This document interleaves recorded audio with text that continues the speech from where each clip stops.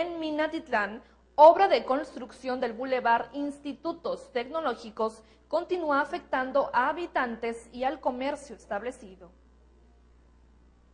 Habitantes de la colonia 7 de Mayo piden que se concluyan los trabajos de construcción del Boulevard Institutos Tecnológicos de Minatitlán, Veracruz, ya que esta situación los ha afectado considerablemente en su salud y economía, debido a que el polvo que se genera de la constante circulación vial sobre esta vía de comunicación ha hecho que presenten enfermedades y cierren sus negocios, por lo que exigen una solución que resuelva estos problemas definitivamente. Eh, nosotros somos los perjudicados porque estamos durmiendo, comiendo eh, todo el tiempo dentro del polvo. ¿eh? ¿Por qué? Porque esta es una, una carretera que están consecutivamente los, los camiones, coches y es un polvadero tremendo que solamente nosotros lo soportamos porque ya no podemos salir del lugar. ¿A dónde nos vamos a ir si aquí es nuestro hogar? Aquí tenemos una boutique, allá tenemos una papelería y esto está cerrado. ¿Por qué? Porque el polvo...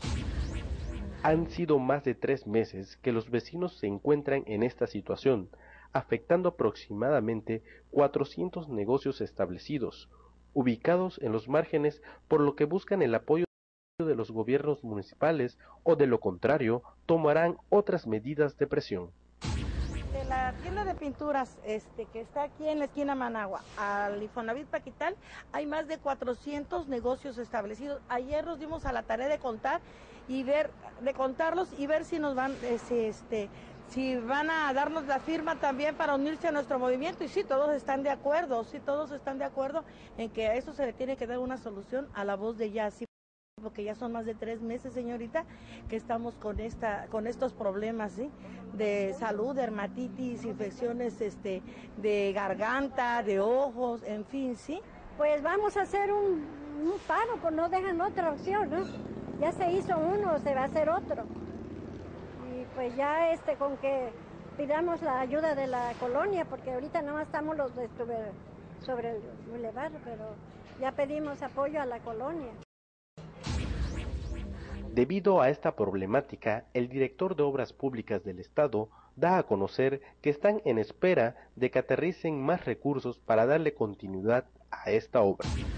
Hay una inversión que está haciendo el, gobierno eh, del Estado a través de la Secretaría de Comunicaciones. Nosotros traemos otra partecita por ahí también y poco a poco vamos a tratar de ir generando que este bulevar, el Institutos Tecnológicos, esté cada vez en mejores condiciones. ¿Garantizan que se concluya esta importante obra? Vamos a reparar los tramos más afectados y en la medida en que vayan fluyendo los recursos se harán algunas otras ampliaciones en esta reparación.